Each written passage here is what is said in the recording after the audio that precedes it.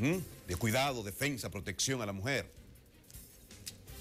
Vámonos con política. El dirigente del PRD, Guido Gómez Mazara, someterá a los jueces del Tribunal Superior Electoral por ante la Suprema Corte de Justicia. ¿Por qué? Por el fallo emitido en su contra, tras haber solicitado la anulación de la pasada convención ordinaria del PRD.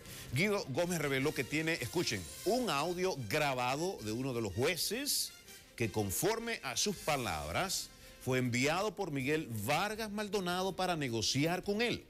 Escuchemos. Voy a someter a los cinco miembros del Tribunal Superior Electoral por ante los tribunales de la República. En específico, y por su jurisdicción privilegiada, lo haremos ante la Suprema Corte de Justicia.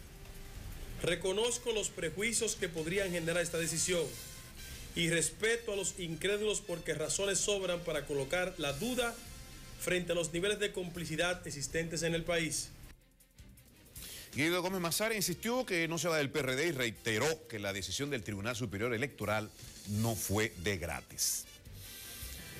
En este sentido, eh, hubo un juez ahí que se sintió como aludido, que fue Hernández Peguero, y emplazó, recuerdo, creo que fue el viernes, ojalá que Julio Caraballo estuviera por aquí, porque el, viernes pasado emplazó a, Julio, a, Guido Gómez Mazara para que demostrara que quién es que está desde allá del Tribunal Superior Electoral comprometido con Miguel Vargas y todo lo demás, pero las sospechas, yo, yo personalmente creo que van apuntando hacia Marino, el juez Marino Guzmán.